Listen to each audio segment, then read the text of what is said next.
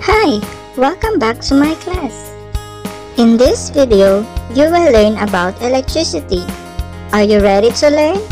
Let's go! When you hear the word electricity, what comes first into your mind? Very good! When you hear the word electricity, you will also hear the word energy because electricity is a form of energy.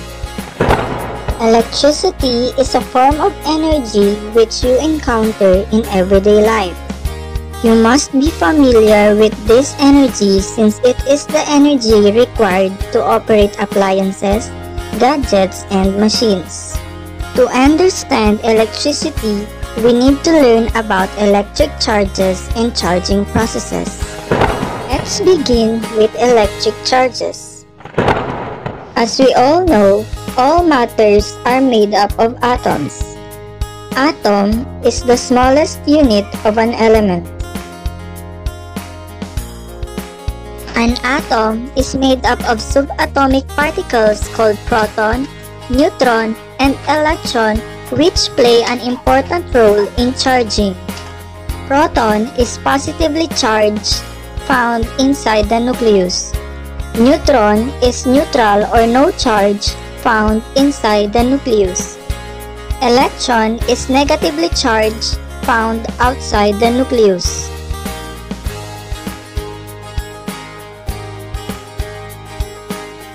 Electron is highly mobile in the atom and moves around the nucleus. Since it is mobile, it can move from one atom, molecule, or material to another.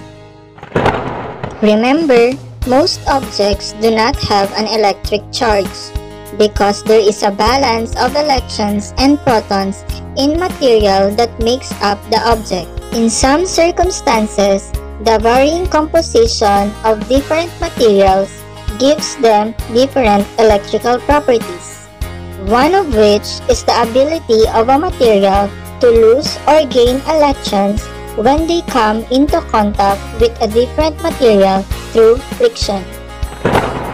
Have you ever tried to extend your head near an open television? What did you observe? You can observe that some of your hair are extending towards the screen of your television. What you experience is what we call as static electricity. Static electricity is electric charge at rest. Looking back to our history, static electricity was discovered by Thales when he accidentally rubbed an amber to a piece of wool. He observed that the amber attracts small objects after it is rubbed on the wool. In this case, the amber becomes negatively charged, attracting other materials. Later on, William Gilbert found out that other matter or substance can be charged like the amber. It can be observed easily by rubbing a balloon onto your hair. When you rub the balloon on your hair for several times, you will observe that some of your hair is attracted towards the balloon. What happens between the balloon and your hair? The previously neutral material becomes charged due to rubbing. The hair loses electrons and transfer it to the balloon. The hair becomes positively charged while the balloon gains electrons from the hair and becomes negatively charged. Since the two materials have different charges, they attract each other. How about two balloons rubbed together on your hair? What will happen if we put them together side by side? The balloons will repel each other because both balloons are negatively charged. This situation shows us the law of electric charges or electrostatic law, which states that objects or materials with opposite charges, positive or negative, attract while objects or materials with the same charges repel. Just like the magnets.